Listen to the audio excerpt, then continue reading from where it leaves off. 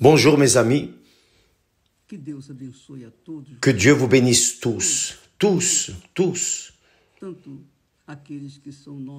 Aussi bien ceux qui sont nos amis, ceux qui sont nos frères dans la foi, ceux qui sont nos, disons, adversaires et même ceux qui nous haïssent. Mais je demande à Dieu que tous soient bénis, qu'ils viennent révéler, révéler le Seigneur Jésus, présenter le Seigneur Jésus à vous de la même manière que le Saint-Esprit m'a présenté Jésus. C'est lui qui m'a révélé Jésus. C'est lui qui m'a montré, qui a illuminé ma compréhension pour voir, comprendre que seul le Seigneur Jésus-Christ peut sauver notre âme pour toute l'éternité. C'est une question de foi. Mais c'est une foi qui vient de Dieu. La foi, la foi surnaturelle vient de Dieu. Mais il existe la foi naturelle. La foi naturelle, c'est la foi que nous voyons dans la nature. Si vous plantez du riz, vous allez moissonner du riz. Vous plantez une banane, vous allez moissonner une banane. Si vous travaillez, vous gagnez. La foi naturelle, vous l'utilisez de manière naturelle et vous croyez. Oui ou non? Vous avez la certitude. Vous avez la certitude, sauf qu'elle est naturelle et qu'elle n'a pas beaucoup de base. Parce que la foi naturelle, par exemple, le mariage, vous avez la foi que ça va marcher. Vous vous mariez à cette personne que vous aimiez ou aimez. Et qu'est-ce qui se passe? Lorsque vous allez élever les poules ensemble, comme dit le dicton populaire, élevez les poules ensemble et vous allez connaître votre voisin. C'est la même chose dans le mariage. Quand vous commencez à élever des poules ensemble avec votre mari, votre épouse, vous allez découvrir qui est véritablement cette personne. Donc dans cette foi naturelle, nous allons être heureux parce que nous allons nous marier. Ça ne marche pas toujours. Il y a des choses qui marchent, bien sûr. C'est une foi naturelle. On sait que si l'on plante du riz, on va moissonner du riz. Mais ça dépend aussi. Vous devez planter au bon endroit. Si vous plantez au mauvais endroit, il n'y aura pas de riz, il n'y aura que de l'herbe. C'est la foi naturelle. Maintenant, la foi surnaturelle, celle-là, ah mes amis, celle-là vient du Saint-Esprit. Le Saint-Esprit est surnaturel. Donc, c'est le Saint-Esprit qui nous donne la foi surnaturelle. C'est pour cela que nous appuyons sur cette touche. Recevez le Saint-Esprit, luttez, donnez priorité au Saint-Esprit. C'est le royaume de Dieu et sa justice. Lorsque nous le recevons, nous avons le royaume de Dieu, le royaume des cieux en nous. Et aussi, nous vivons dans la justice. Donc, tant que la personne ne reçoit pas le Saint-Esprit, elle va toujours diriger sa vie en accord avec la foi naturelle.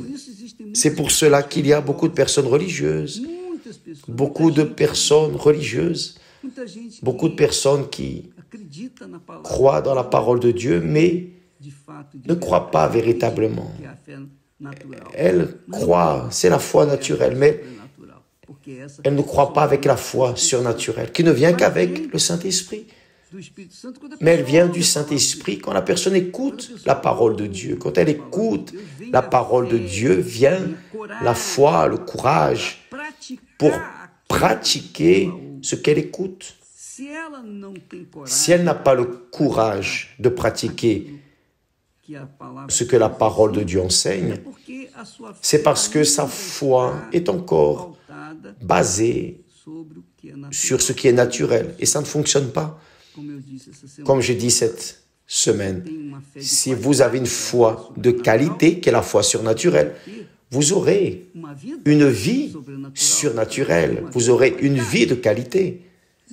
Mais si vous n'avez pas, ou plutôt, si vous avez, si vous n'avez pas une foi surnaturelle, basée votre vie sur ce qui est naturel, vous allez vous tromper et vous allez être, disons, frustré avec les promesses de Dieu. Vous allez vous frustrer avec les promesses de Dieu. Donc, pour résoudre ce problème, seul le Saint-Esprit, c'est lui qui nous guide vers toute la vérité. Jésus a dit cela lorsqu'il a dit, celui qui croit en moi, celui qui croit en moi. Mais Jacques dit que même les démons croient en Dieu. Mais ils sont des démons. Mais Jésus ne parle pas de cette croyance en lui en accord avec la croyance que les démons ont. Il parle d'une croyance pratique. Pratique qui n'a rien à voir avec les sentiments. Je sens que je crois en Dieu. Non, c'est pas ça. Celui qui croit en moi, comme dit l'Église universelle. Non. Il dit, celui qui croit en moi, comme dit l'Écriture, c'est écrit. Ce qui est écrit est déterminé.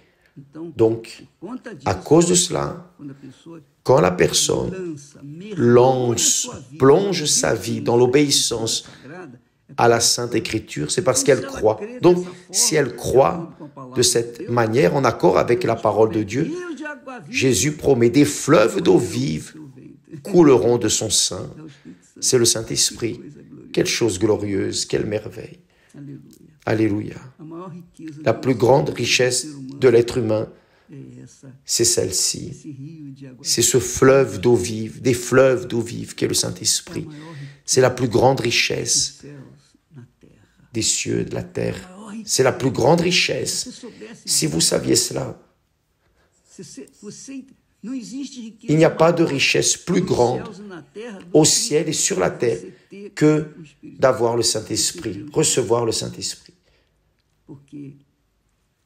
Parce que là, oui, vous commencez à comprendre la parole de Dieu, vous commencez à vivre par la foi, vous avez le pouvoir de vaincre vos doutes, vos peurs, vos tribulations et vos défis. Pourquoi? Parce que vous avez l'esprit de l'éternité en vous. C'est ça. Bien sûr, quiconque n'a pas le Saint-Esprit, parfois pense croire, pense avoir la foi surnaturelle. Mais malheureusement, les fruits de la vie de cette personne montre des choses différentes. Sa foi n'est que lorsqu'elle conquiert des bénéfices, mais lorsqu'il faut affronter les déserts de la vie, elle fonde. C'est comme la mousse, la foi de ces personnes est comme la mousse qui se défait. Demain, nous allons parler plus à ce sujet. Que Dieu vous bénisse tous au nom du Seigneur Jésus. Grâce à Dieu. Amen.